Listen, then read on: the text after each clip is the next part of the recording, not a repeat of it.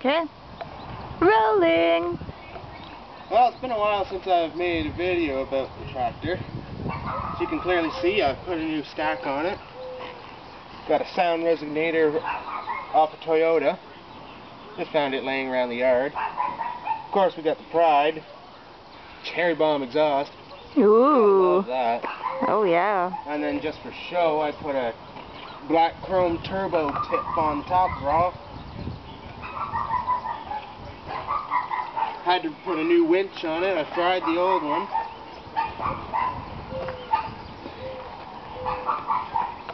Also installed a weight rack.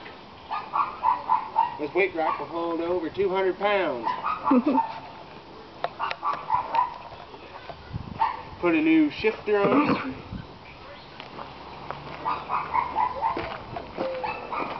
Nice chrome small head.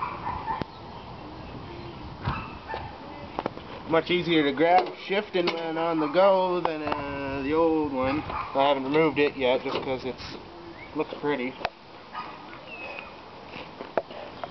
Had to do a bit of cutting to my body just to get the new brace to fit.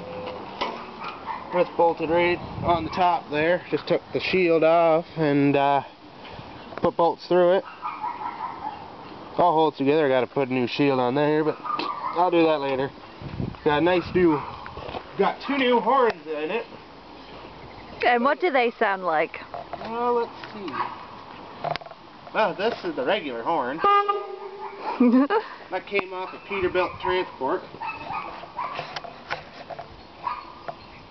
Switch the wires. and the modified one is more unique. This one's more for if I put it in the parade.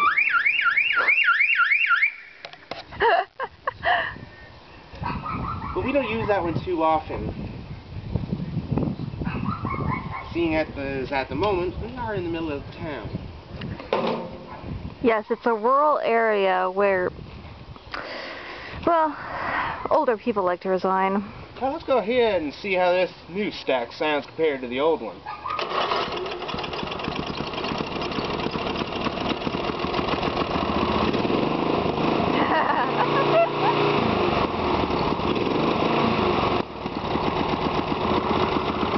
Much nicer and much quieter, especially when working. Definitely.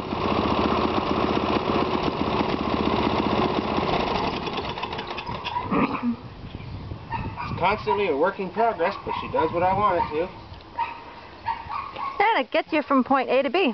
Got my plow sitting over there in the corner. Some modifications have been done to that. Now it's a tilt plow. Before it couldn't do anything.